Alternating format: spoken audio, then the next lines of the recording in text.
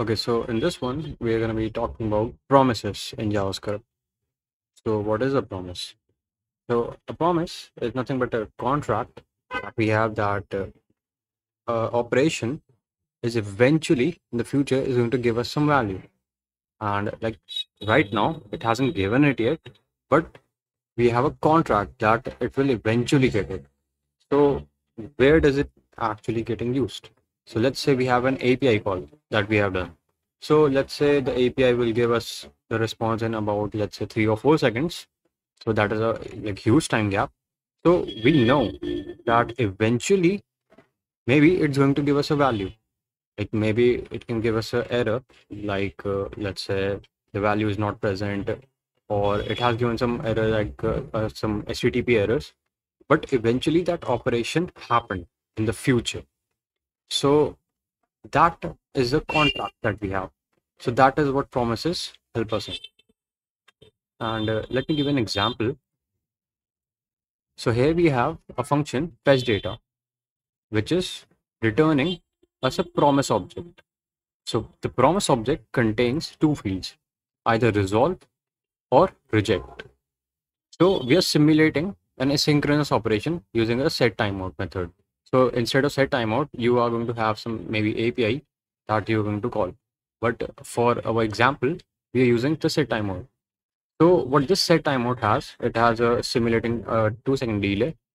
And in this case, we have set it to success true. That means we are going to return some value. So this resolve, which is a delegate. So this resolve is going to give us data fetch successfully and when we are going to set it to false we are going to have a reject which is going to give us a error fail to fetch the data.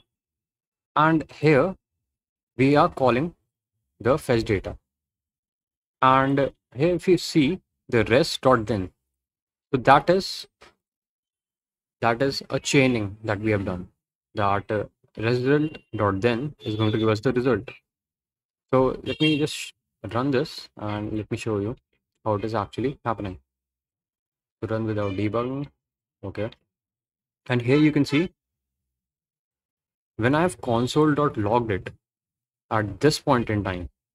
So this time the method was called and it has given a promise object and this promise object contains a promise state which is pending. So the promise object contains two fields here you can see a promise state which will tell you either the operation is pending, successful, or is it has given some error.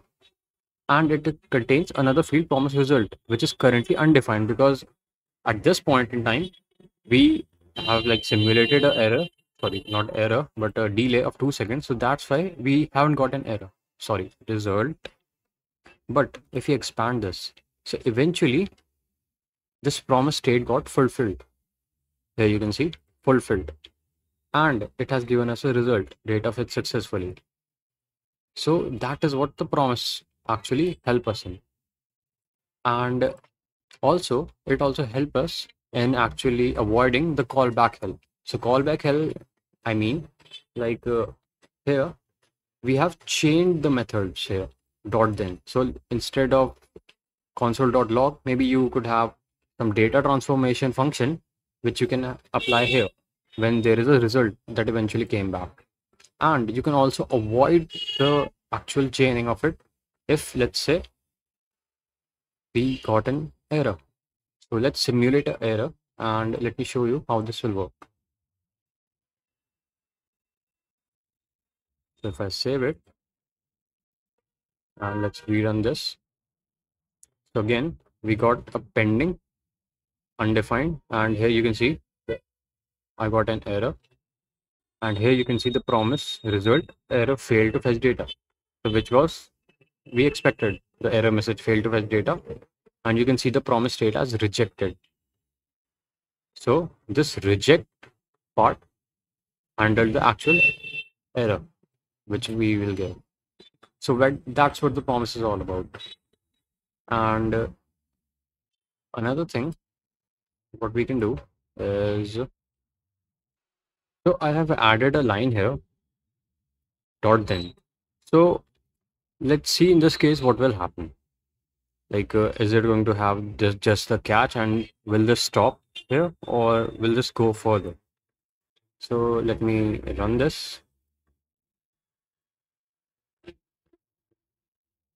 okay so here you can see that the catch block only worked till here and after the catch this dot then chain method still ran i am running.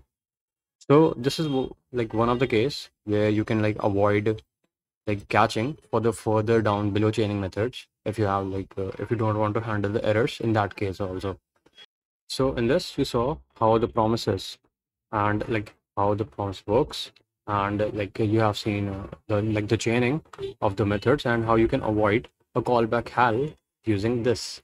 Not hal okay hal so and like now what the promise is we now know that a promise is nothing but a contract that an operation like uh, which will like happen in the future or complete in the future.